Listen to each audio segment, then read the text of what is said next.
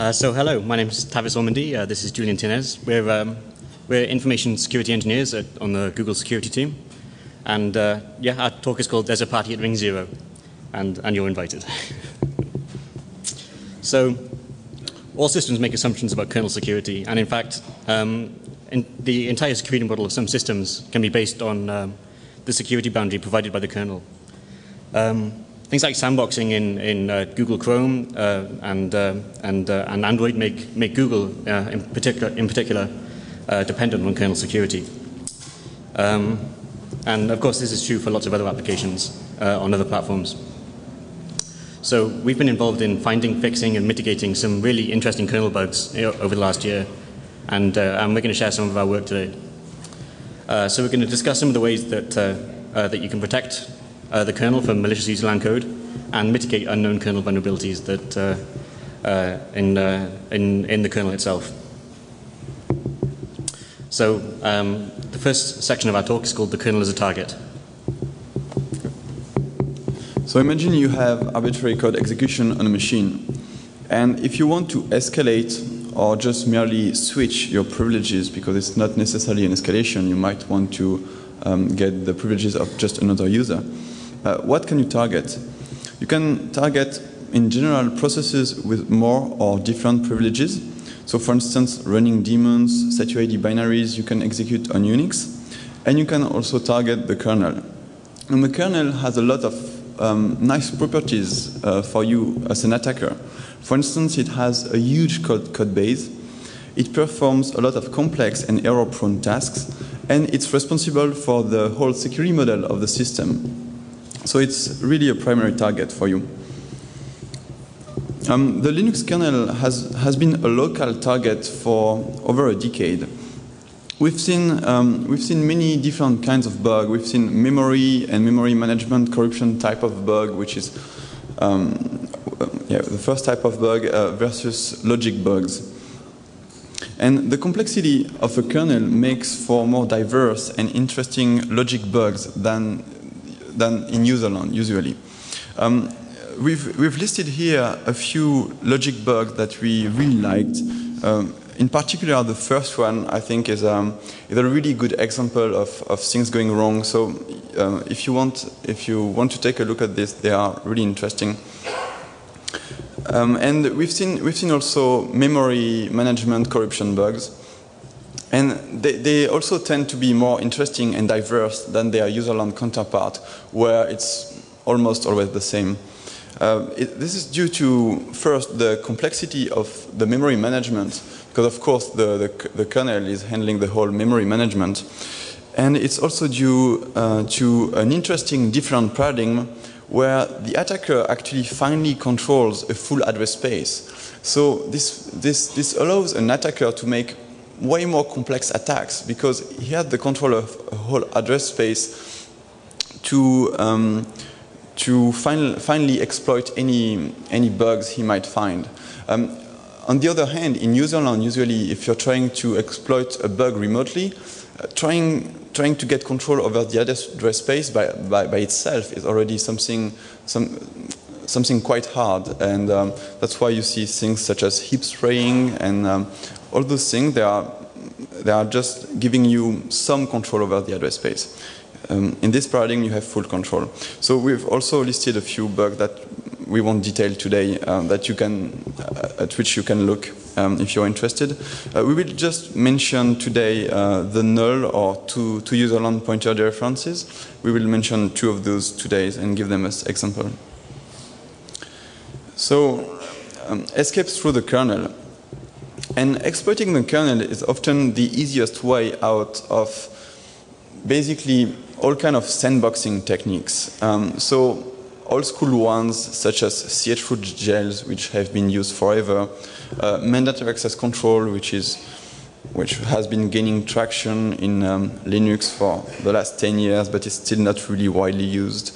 Uh, container style segregation, such as vserver, and I'm only talking about Linux right now, but uh, on Windows you see you see the same uh, the same thing happening.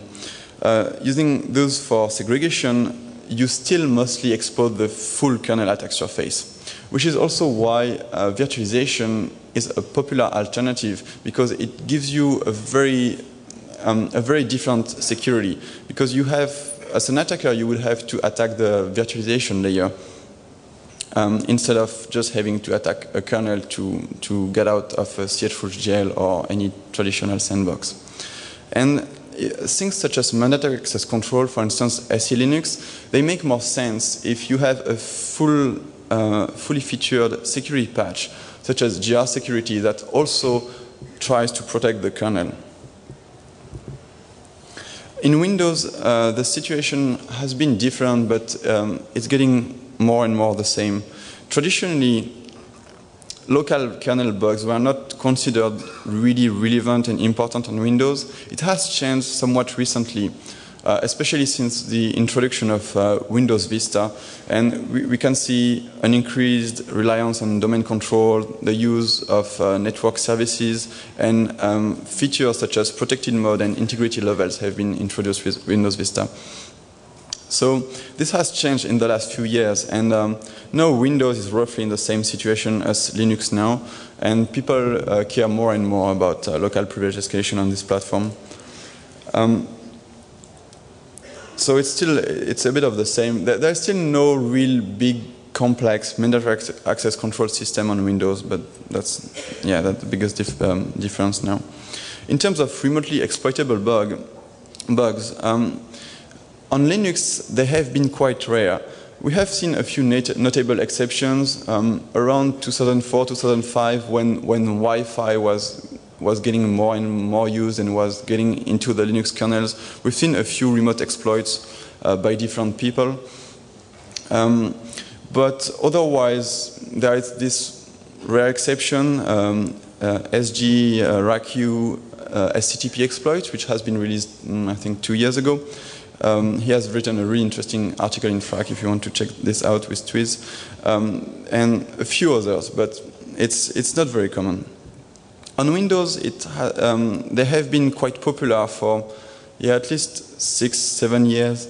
Um, I think actually Barnaby Jack, who gave a talk yesterday, gave a talk in 2005 on, um, on some um, remote kernel bugs on Windows. And usually the, the, the target was not Microsoft code itself, but mostly um, third-party naive code in antivirus and uh, personal firewall. Um, you've seen also a few, a few GDI-related bugs, a very few TCP/IP stack-related ones. Uh, our colleague Neel Mehta and others have, have found one quite recently.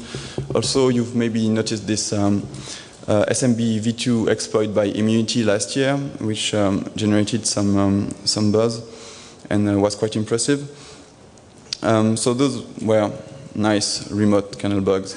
Uh, but the web browser are really what are changing the game now because surprisingly they do expose kernel attack surface remotely. For instance, through GDI. And um, it's, it's, it's something that we've also seen on Linux. For instance, there, there has been a remotely exploitable bug in NVIDIA drivers that you could actually exploit through a web browser. And, and the reason for that, and Tavis will talk a little bit more about it later, is that we have, we have tons of new features coming to the browser, such as, such as web font, WebGL, and so this exposes a lot of kernel attack surface remotely. Uh, so we will now present uh, some of the bugs we found uh, this past year. Uh, so we were working on kernel security for, for um, about a year. Um, and over that time, we've, we published uh, lots of bugs, and we've, we've still got some that are unpatched. Um, we're still waiting for, for fixes for some of these, but yeah, we found quite a few over the course of this, over the course of this year. So um, there are many entry points for, for an attacker to reach kernel attack surface.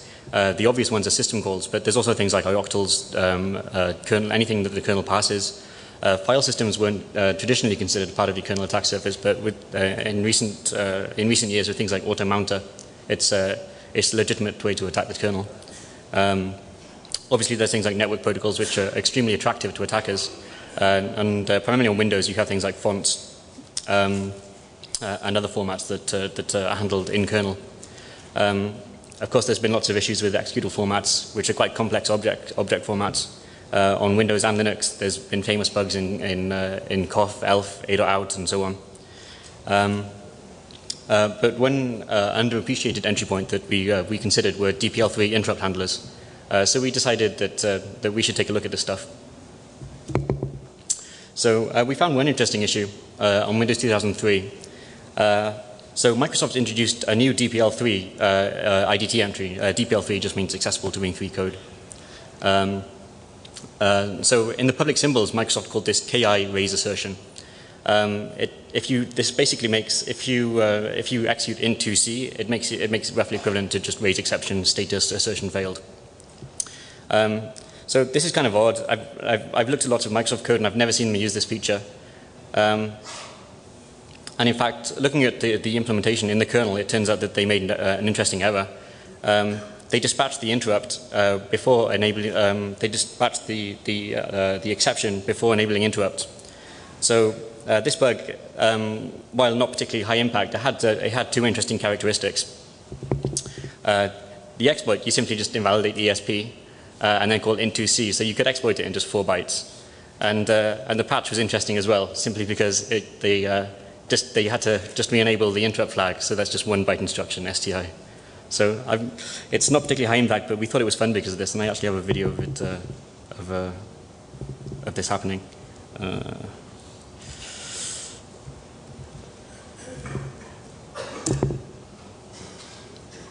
Okay. Oh, okay. So uh, I'm just using CDB to open a uh, uh, an executable so that I can patch some code into it.